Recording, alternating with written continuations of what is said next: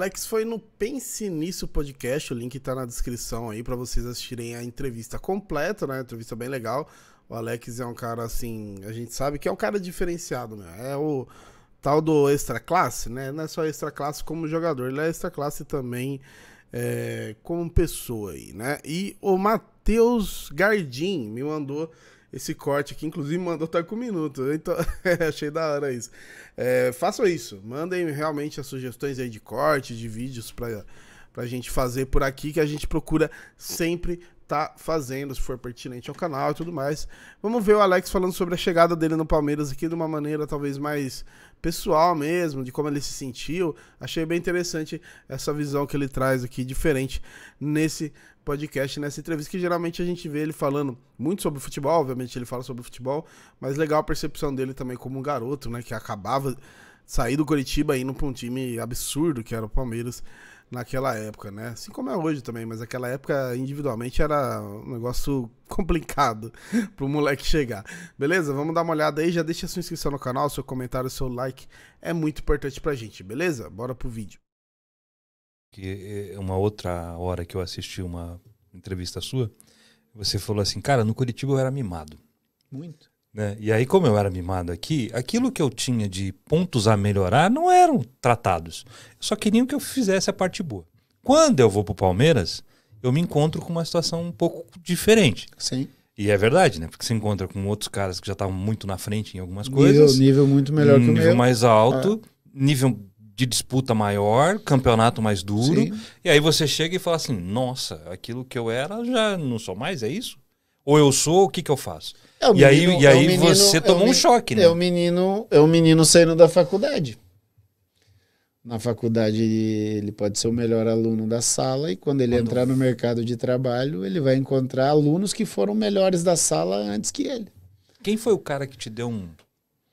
Ou vários te deram um toque com relação a isso? Não, vários. Eu, por exemplo, eu briguei com o Zinho durante dois anos, mais ou menos. Brigou. Brigou. Briga de discussão, muitas vezes os caras terem que separar. Por quê? Porque o Zinho já era um cara.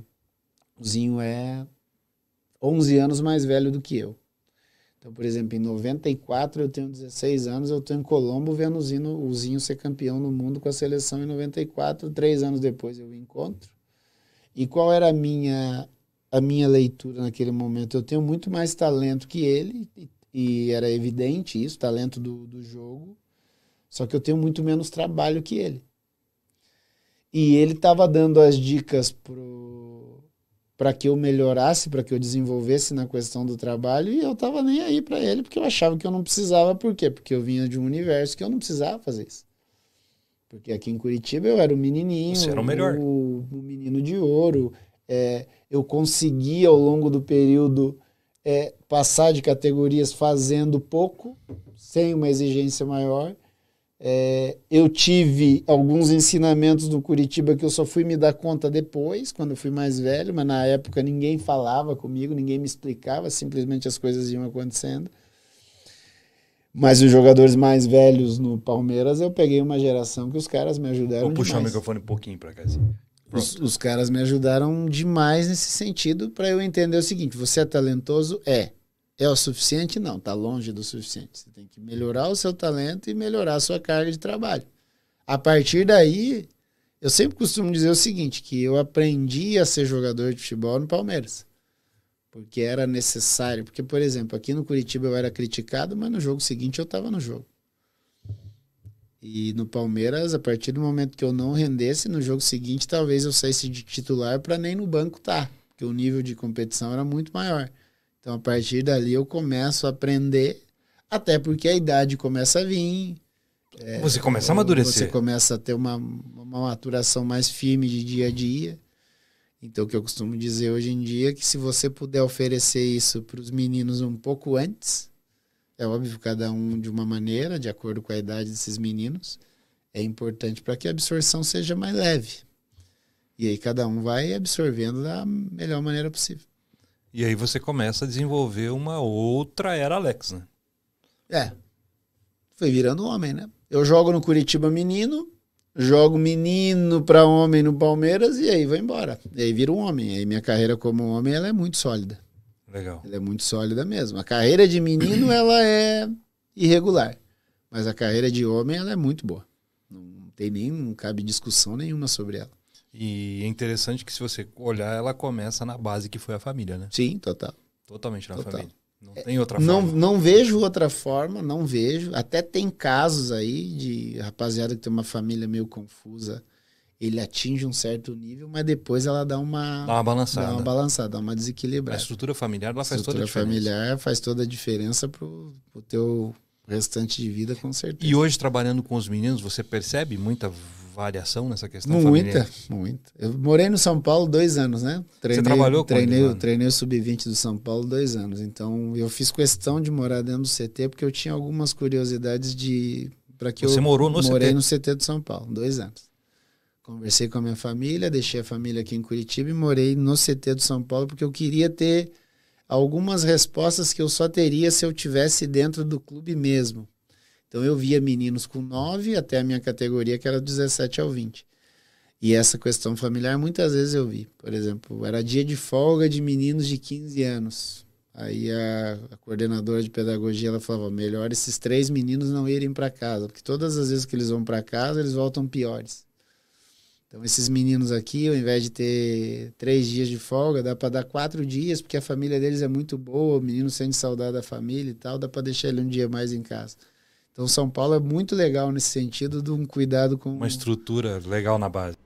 Faz a diferença pra caramba. E assim.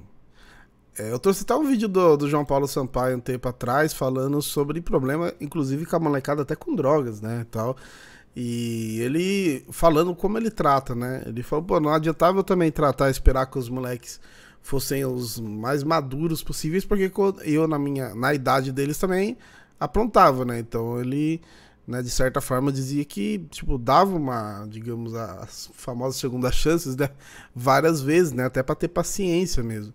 E é doido, né? Muita molecada boa tendo boa oportunidade e acaba se perdendo, né, mano? Mas assim, é interessante o Alex falar de- dessa visão, falar daquela lá dele de trás, dele chegado do Curitiba. Né, igual ele falou, ele viu o Zinho ganhar a Copa do Mundo e de repente tava ali dividindo a meiuca cozinha, né? Olha, esse nome do Zinho também é perigoso, né?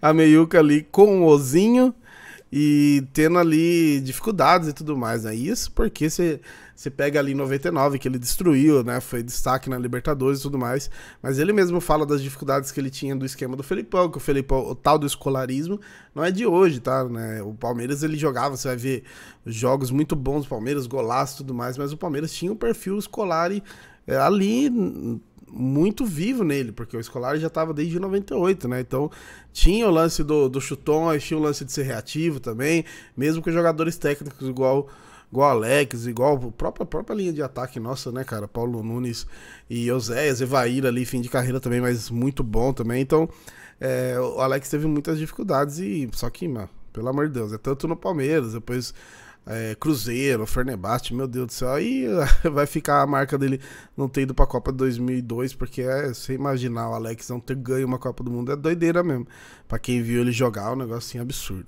Beleza? Comenta aí, ó, se inscreve no canal e o link da entrevista completa tá na descrição, pra, se você quiser assistir. Assiste por lá também, se inscreve lá no canal do, deixa eu ver, é Pense Nisso Podcast, beleza? Tamo junto.